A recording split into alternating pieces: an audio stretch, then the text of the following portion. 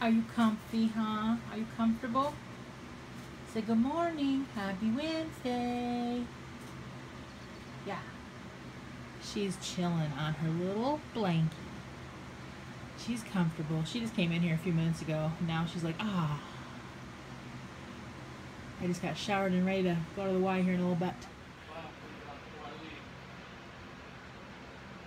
Just sitting here, chilling. Here's one of my shelves. All my little pretties on it. One day we'll have to redo stuff, but nah, it just didn't happen yet. I only have some decent days. Dad and I got to work in the kitchen. That is our next project. First we got to get in the garage. Clean off the one table so we have room to take stuff out on. Yeah, we have some mild days, but we got some, this week's going to be a little warmer and humid, so. But when mild comes, 70s, we'll be out there. Dang it. Kitty, what are you doing? She's looking at me like, why are you talking to the, the, the little box in your hand? Eh, she don't care. She just don't care. All right. Back from getting my hairs cut off. I had you in my purse today so I didn't film anything because I went to yoga.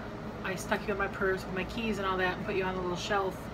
And then uh, just grabbed my purse and went to get my hair cut and everything just stayed in my purse.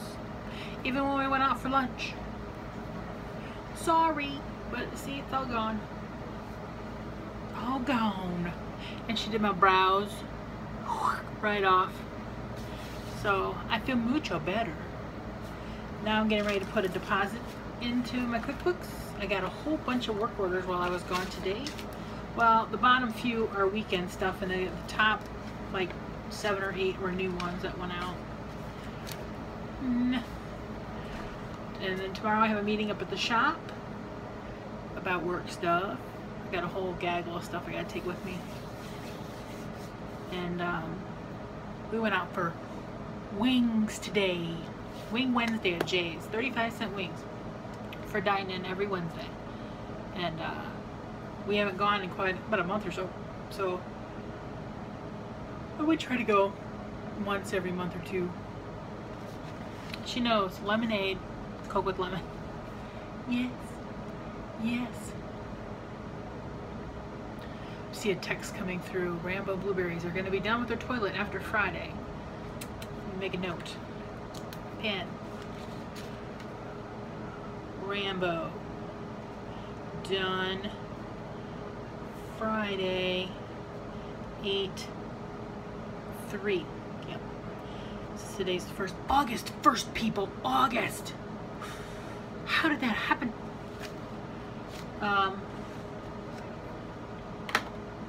we turned the air on finally. It's starting to get warm and humid, so um, but for like a good three or four days, we were able to have the house open, air flowing through. It was beautiful. Beautiful. Um, so no plans for the rest of the day other than doing some work stuff. Um, maybe watch some Netflix later. Maybe. But yoga was so fun today because she keeps the room, it's like dimly lit and she puts on this really nice music and she has this candle in the middle of the room and it's very peaceful. And uh, there was one, two, three, four, five, six, seven, eight or nine of us there. And um, I had to ditch out like just a couple minutes before she was done. I'm like, I gotta go. And um, but it, it does it did stretch out. It did a lot of arm work and stretching and breathing and I enjoyed it. I really did. Um, a few weeks ago when my shoulder was out, I would not have enjoyed it. But today it was nice. I might go do it again some Wednesday. Uh, one of the ladies from the pool, Rhonda, was there. She saw me across the way. She's like, because I'm only used to seeing her in the pool. Um, so, I'll definitely do that again on a Wednesday. And I was so happy to get my hair done today. Other than that, oh, I keep forgetting about these and I just looked over and saw them. These cards came ages ago and I'm so sorry. Um, Rosa sent these. She's from California, and she sent a really nice note. She sent this back when my shoulder was hurting. And thank you so much, Rosa. Look at the little face. And then she sent Dad a card, a sympathy card for when Lois got um, killed, died in the fire. And he told me to tell you thank you very much. I'm so sorry. I've had him sitting here, but I've had so much crap on my desk, so much work that I'm like, I'm like, oh, there they are. Thank you so much, Rosa, and thank you for the beautiful note. She's so very sweet. Um, my friend Nikki every day sends me paragraph stuff about what she's researching. She talked to a couple today. She talked to her cousin Ralph. We always say cousin Ralph. Um, that she met. She's still. She's got so many branches and things and trying to get it all. It's. And she talked to her dad. Um, and he told her what the stories we heard years ago. Here's how it went.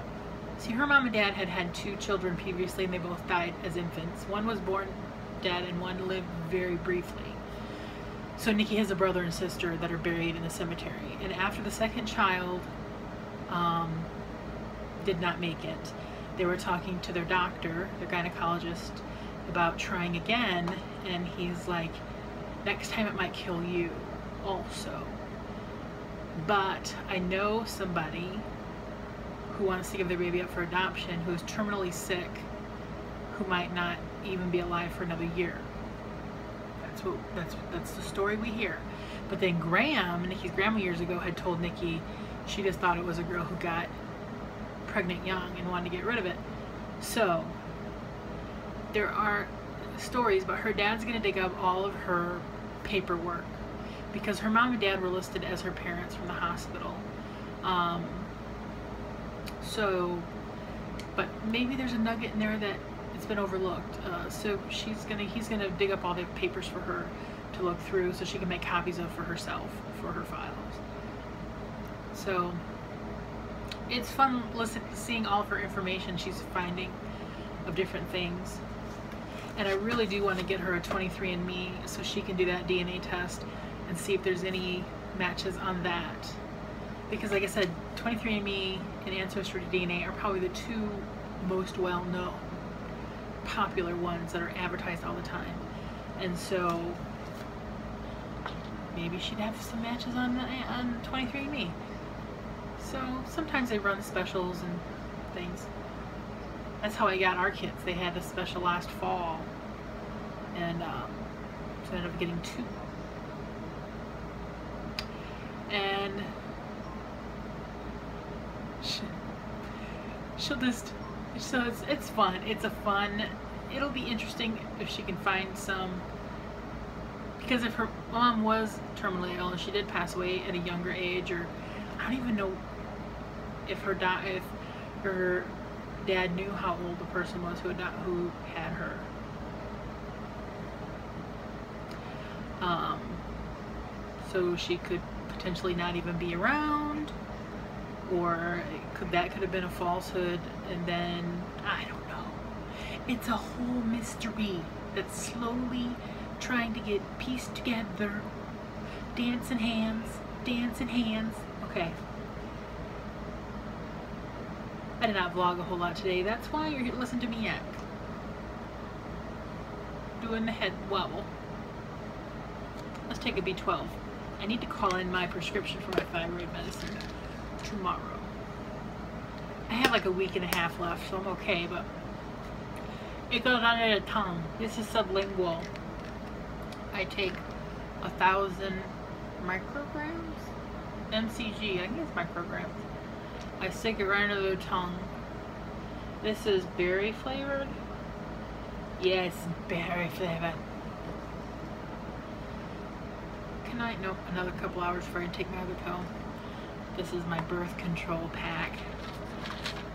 Those lovely, these are nice because they're tiny.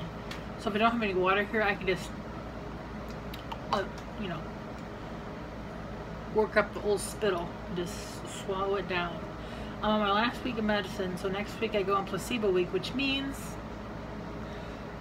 towards the end of that,